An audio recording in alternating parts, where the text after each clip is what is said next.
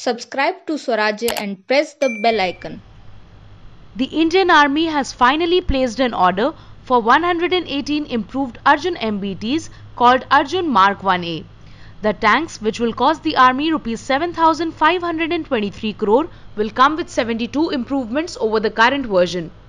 The induction of the Arjun MBT into the Indian Army began in the year 2005. The Indian Army currently operates two regiments of 124 Arjun Mark 1s in the desert sector along the border with Pakistan in Rajasthan.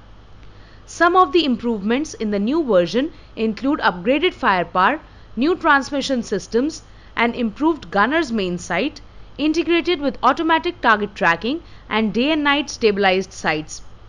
In February this year, Prime Minister Narendra Modi had handed over the first Arjun Mark 1A to Army Chief General M M Naravane in Chennai.